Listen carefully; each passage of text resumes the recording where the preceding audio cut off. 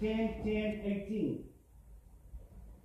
And I'm getting sick. My wife medicines that doubled. No one cares.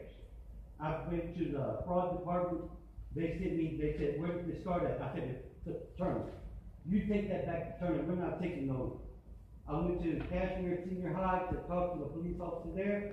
They said, this is too big for us. You need to go to the fraud department with this. I already went to the fraud department. They ran me away from there. No one wants to take no kind of paperwork of this.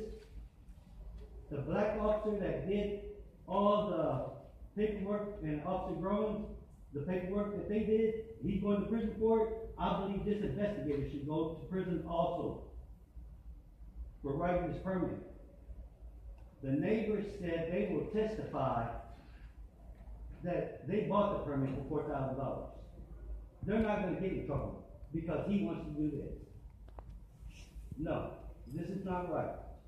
And I'm doing this Your time has expired. Mr. Samara, uh, Councilman Davis. Thank you, Mayor. Um, I'm, uh, to the mayor from, uh, Vasquez. Uh, and I, I would like to get filled in on, um, the investigation. I don't know about chemicals. It says. There's no, there's, Okay, yeah, so it Yes, mentions chemicals here, but again, I, I did go out there and there's a substantial amount of dirt on this lot.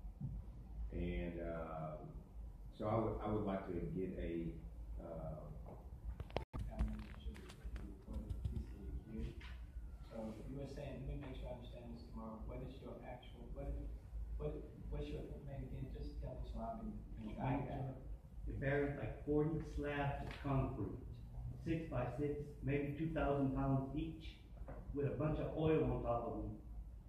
Uh, they buried that like about eight foot down, they dug a hole on top of the forty slabs of concrete that weigh two thousand pounds each, they put like fifteen dump trucks on top of that. It's starting to get odor. Okay, the only, the only thing left is for us to, uh, is to ask